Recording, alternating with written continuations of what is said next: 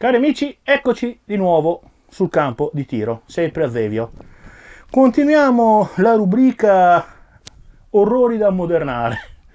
ossia le vecchie carabine in calibri oggi desueti o poco commerciali, abbandonate sugli scaffali a volte dei negozi, spesso anche in condizioni meccaniche molto buone ma che potrebbero diventare dei piccoli gioiellini una volta prese e opportunamente ammodernate. Nella precedente puntata abbiamo visto un Colt Sporter in 222 preso e ammodernato. Oggi vediamo quello che è un classico che credo tutta la mia generazione da bambino o da ragazzino non possa non aver amato televisivamente parlando il Mini 14 nella versione che si vedeva nelle puntate dell'A-Team. Un allestimento di questa carabina che ha una storia abbastanza caratteristica perché fu scelta in quanto ai tempi l'M16 non era ritenuto, un po' come oggi, politicamente corretto e vedere in mano ai buoni un M16 sarebbe stato l'opinione pubblica non l'avrebbe considerata più di tanto bene andarono a pescarsi un piccolo lotto di 30, eh, di mini 14 pardon, eh, a un prezzo veramente eh, ridicolo eh, che avevano questa configurazione. Erano un fondo di magazzino che non aveva un gran interesse Sicuramente non lo avevano fatto pensando che sarebbe diventata negli anni un cult degli appassionati di queste tv, di queste serie, appassionati di queste serie tv. E una versione della Mini 14 che purtroppo per anni è stato impossibile anche solo pensare di avere, un po' perché i rarissimi originali avevano delle cifre assolutamente proibitive, ma anche un po' perché alcuni componenti di questo allestimento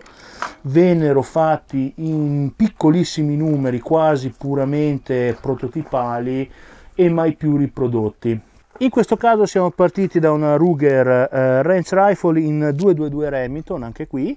una carabinetta abbandonata da anni sugli scaffali di un'armeria mh, mm, che veniva proposta a una cifra molto contenuta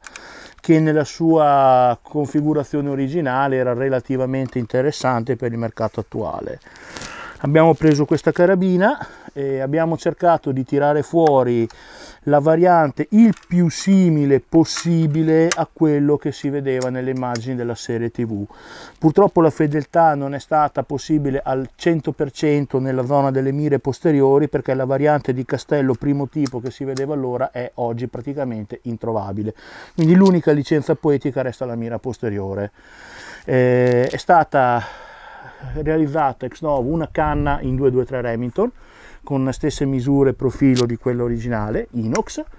È stato realizzato ex novo questo spegnifiamma che montava la prima versione, uno spegnifiamma spinato eh, alla mira frontale che anch'essa era sostanzialmente un uh, inserto a pressione sulla canna.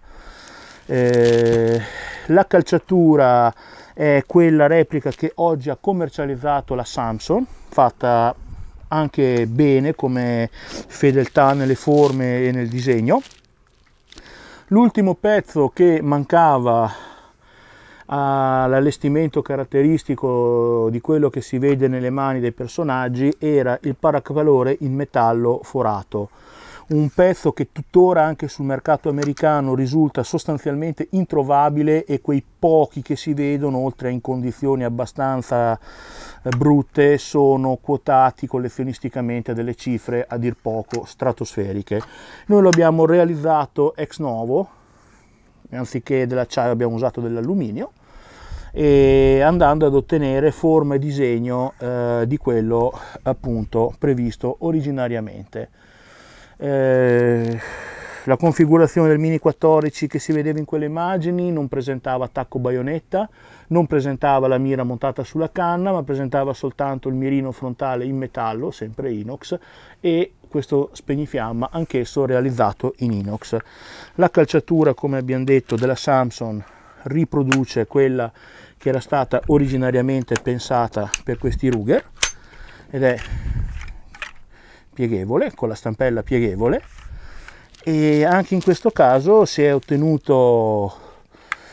una replica di un fucile non storico, non militare, ma che sicuramente a fatica non ha fatto viaggiare la fantasia di tanti, tanti di noi negli anni, negli anni che furono. Quindi una replica venuta bella, carina, eh, che ci riporta ragazzini, eh, anche nel funzionamento, dopo aver trovato un caricatore originale nichelato della lunghezza giusta, eh, come funzionamento non ha nessun problema nel calibro 223 Remington. Insomma, citando una frase del film, non, si può, non potrei dire altro che adoro i piani ben riusciti.